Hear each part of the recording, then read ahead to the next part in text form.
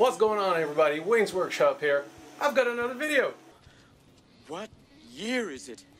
I know, I know, I know. I've been slacking hard on the YouTube content, but give me a break. I've been busy, you know, releasing smoke machines and thrusters and all of that stuff. And also soon to more products. So been busy all around and haven't been sitting still. But hey, for now, I'm back with a video and we are gonna vapor smooth some PLA prints with acetone.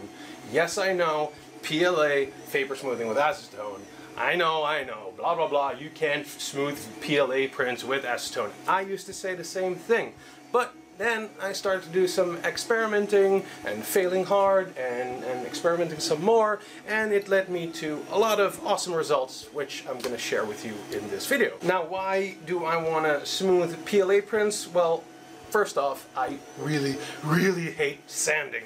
Uh, I used to print with ABS and that's quite easy to vapor smooth and also quite easy to sand, but printing ABS is rather difficult. You need a, a heated enclosure, it can still fail a lot, so I just wanted to go back to easy PLA printing and somehow still have that benefit of vapor smoothing those PLA prints. Since I used 3D printing primarily for cosplay purposes, uh, the end result of having it smooth uh, matters greatly to me because you know we're gonna paint all of these things and you know you really want a smooth surface instead of all those gnarly print lines. Now I tested this method on uh, various PLAs uh, that was available to me here in Europe uh, because PLA varies a lot, I, I wanted to uh, get six different brands and uh, also variations of PLA to see uh, which one worked and which one didn't work. I have Amazon Basics in yellow because I wanted one brand that's available here in Europe but also is available to my American friends. I got some eSun PLA Plus in green because I wanted to see what PLA Plus uh, how that reacts to this method. A cheap PLA uh, purple from Hobby King. Uh, the roll has been already depleted because I used some, uh, just a tiny amount from a friend of mine. Devil Design PLA in beige. Uh, Devil Design is a Polish brand and I can buy them here locally at a store called uh, Tiny Tronics. It's a Dutch vendor. I wanted to add one of those uh, metallic or metal filled PLAs as well. You see like the aluminum ones or the bronze. This is Tech uh, copper-filled PLA to see how that responds. And last but not least, I have Ultimaker white PLA, and this was the only print that has not been printed here, but at the Ultimaker 2 uh, at, that we have at my job. So for this test and, and for this video, I'm using these small Daruma prints because, well, they're small, it's easy to capture on video, they're quite round, they have some detail in the front, so makes for a, a, a good test model, and because it's round, it has some gnarly stepping on the top here, and we'll, um, we'll show you that later what I got planned for that. I've used the same G-code for, for this model for all the filaments I have, and all of them were printed at 0.12 layer height. So what else do we need for this aside from uh, PLA printed parts? Well, we need a large pot. We don't really need a large pot, but since I'm doing this for cosplay purposes, uh, big props go in here, so I need a large pot. You can use a smaller one if you only print small things, of course, so, but for now, we have a large metallic uh, we have a stainless steel pot and we have an induction heater. It's not a gas heater, it's not an electric heater, it's an induction heater. So why induction? Because there's no open flame and there's no glowing hot objects. It won't work without the stainless steel pot sitting on top of it. It will just beep and it will not work. And there's no, like I said, no open fires, no flames. And since we're going to be using acetone, acetone is highly flammable, so you don't want any open flames, uh, glowing hot objects. Uh, just use an induction heater. We're also going to need some safety gear, like gloves, respirators, like this one, or this one. Not this one. This will not protect you. If you're unsure, these ones are rated for organic fume. And if you can manage, have some sort of air exhaust system. Uh, inner shop can be a fan just blowing out the window. I have an air exhaust system behind the camera and that leads with a tube outside the window. So how does this work? Now, of course, it's not a matter of chucking everything in the pan and calling it a day. There's some work to be done. First, we fill the pot up with a good layer of acetone. I have this aluminum block laying around which provides a nice base for my model to sit on. You can use something similar like 123 blocks or maybe an old heatsink from a fan. Uh, just don't use any plastic stuff as it will simply melt either to the high heat we're going to use acetone or even the combination of both. So first up is the Amazon Basics Yellow PLA. I set the induction here to high, waited for acetone to boil, and you can see the vapor rising on the side here. And once that is over the halfway point of the pot, I set the heating to low. This to prevent all the vapor spilling over the edge of the pot due to too much vapor uh, collecting inside of this stainless steel pot. Acetone vapor is heavy and will stay in the pot if the heating is correctly tuned or low like this. I then set a timer to 2 minutes and let it do its thing. When the time was up, the induction heater shuts down and I used two grips to lift the whole thing out and let the piece harden out. This hardening out goes pretty fast as the exposure to the acetone was intense but short. So what remains on the print evaporates pretty quickly as well. I let it sit for 30 minutes just to be sure it was safe to touch without leaving my fingerprints on it. As you can see, it's a pretty glossy shine after just those two minutes with a lot of the layer lines smooth. Here I'm performing a fingernail test on a unsmoothed one.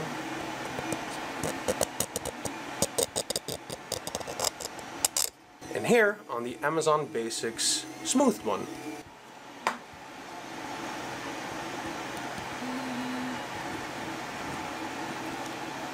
I did the same treatment for all the other prints under the same conditions.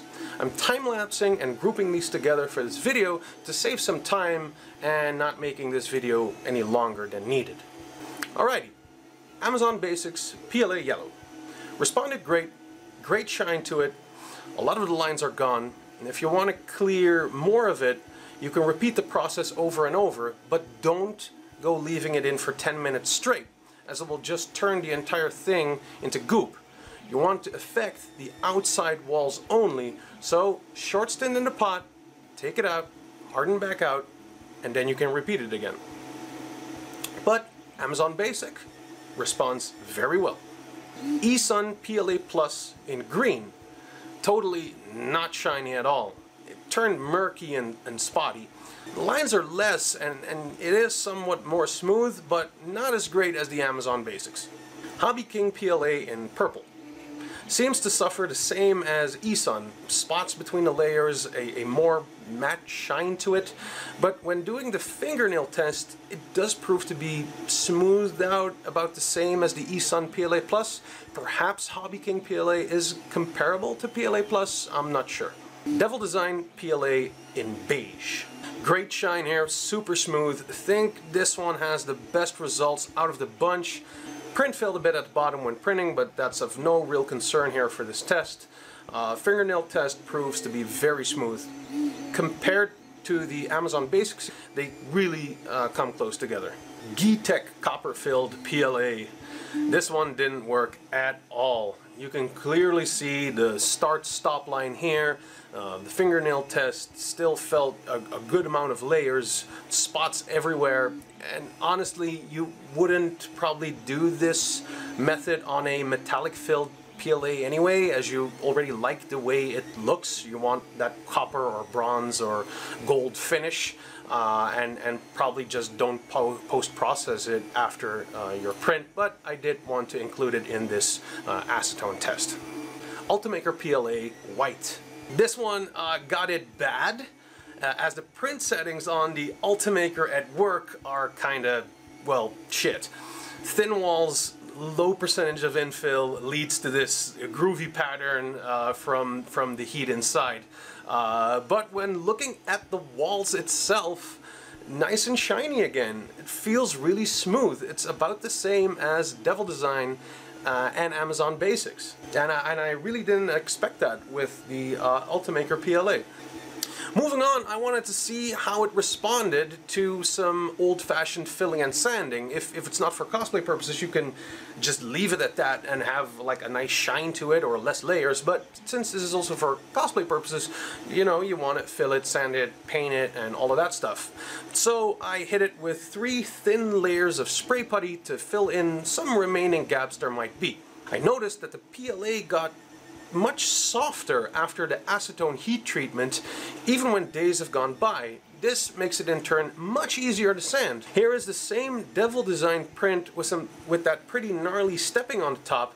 It's been acetone smoothed slash treated and sprayed with spray putty and now with just 30 seconds of light sanding with 180 grit sandpaper I'm not even pressing the piece hard against the machine just lightly going in circles and it's gone. For better illustration, I hit it with one layer of that spray putty again, and, and that's pretty smooth for just that little amount of time put into it.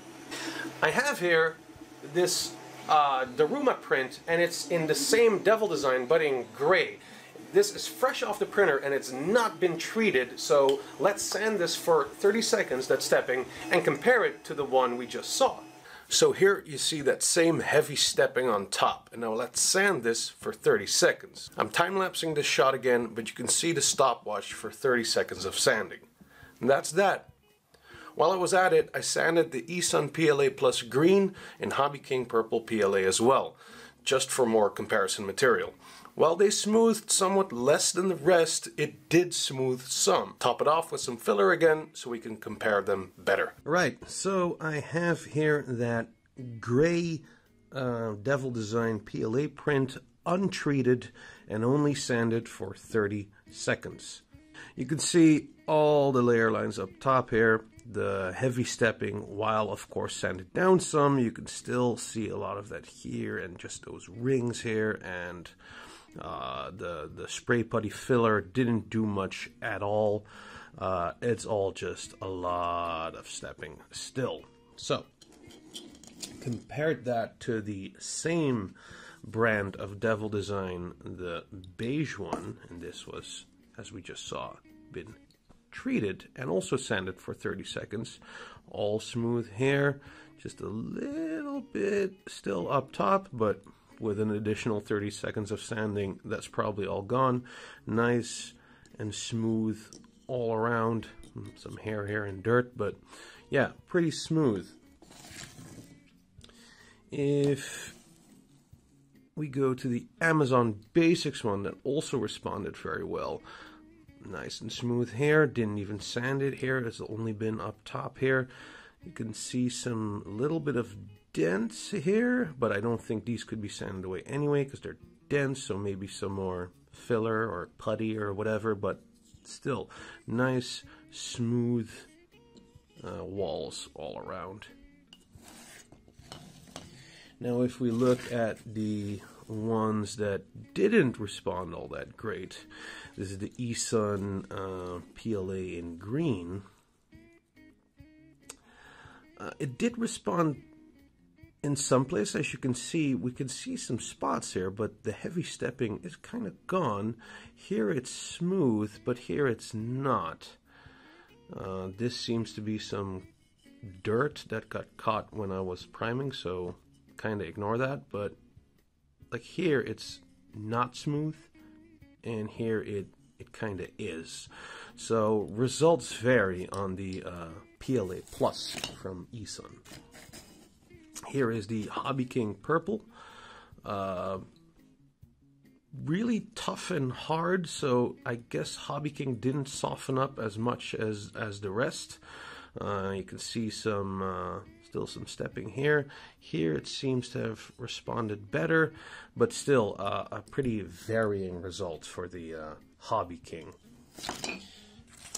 And now to finish up with the uh, Ultimaker one, this has been, uh, here you can see the result of no sanding, but this one has been treated uh, three times, so triple treated. I did the full method of going in for two minutes, taking it out, hardening it out, uh, and then once it's hardened out, put it back in, and vice versa, three times, and you can see that is, like, there's no layer lines whatsoever.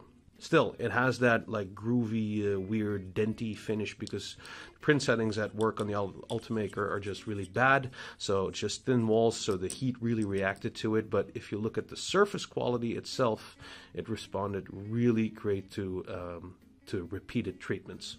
So in conclusion, PLA acetone vapor smoothing does work, but you do need some extra gear to make it work, and it depends on what brand you use, as we just saw. Uh, some brands work really well, and while other brands, well, they don't really work at all. And some do work, but have varying results. If you want a prime example of this method on a finished piece, then this is the Peacekeeper shotgun from Apex Legends that I made as a birthday gift for my buddy Sven. It's all printed in separate parts and all parts are multiple times treated in this method and was done all relatively quick. I will say some sanding went in it, but only on parts with heavy stepping. And all in all, I think a total of only 20 to 30 minutes of sanding went into this entire piece. Now will this work on the PLA brand that you get? Well, there's no way for me to know because I can't test it on every PLA brand that the world provides, but I hope the testing of these six brands gave you enough insights. I'm going to apply this method to this Guyver 3 face mask here and then proceeded to paint it up and install my cosplay thruster system in there all in a future video. Be sure to hit that sub button and the bell button so you don't miss it. Speaking of subbing, at the time of recording this, we are nearing the 10k mark on this channel. So maybe I should do something like maybe uh, ask me anything live or something. Tell me what you think about it down in the comments below. Thanks again for watching and I'll see you in the next video.